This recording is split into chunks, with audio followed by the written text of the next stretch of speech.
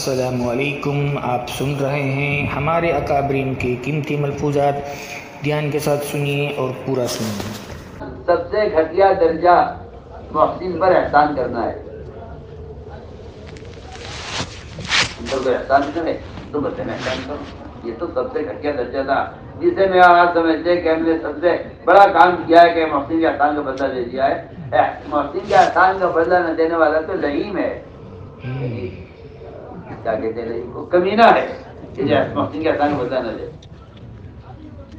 ورنہ سب سے ادنا درجے کا احسان یہ ہے کہ آپ احسان کرنے والے پر احسان کریں دوسرا درجہ یہ ہے احسان کا کہ آپ ایسے آدمی پر احسان کریں جو آپ کو جانتا نہیں آپ اس کو جانتے نہیں کبھی اس نے آپ کو سلام نہیں کیا کبھی آپ کی غم میں غم میں شریک نہیں ہوا کبھی آپ کی خوشی میں خوش نہیں ہوا آپ کو اس سے کوئی جان پہچانی رہ دینا کچھ نہیں، آپ اسے احسان کریں، یہ احسان کا درمیانہ درجہ ہے۔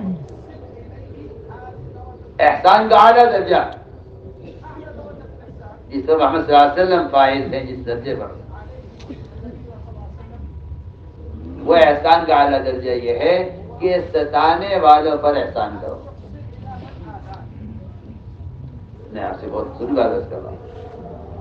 امت میں جو فرقے بنے ہیں اور امت میں جو ٹکڑے بنے ہیں، اس کی بنیادی وجہ یہ ہے کہ ہم ستانے والے کے، ستانے والے کا بدلہ، ستانے والے سے بدلہ اللہ مجھے معاف فرمائے کہ ان کا جواب پتھر سے دینے کے لیے تیار ہو گئے یہ نبی کی تعلیم نہیں اپنے ہو یا غیر، دور کے ہو یا قریب کے۔ امت بنانے کے لیے تو اللہ کی قسم وہی طریقہ اختیار کرنا پڑے گا جو طریقہ محمد صلی اللہ علیہ وسلم خود اختیار کیا ہے اور اپنے صحابہ کو اس کا پابند کیا ہے۔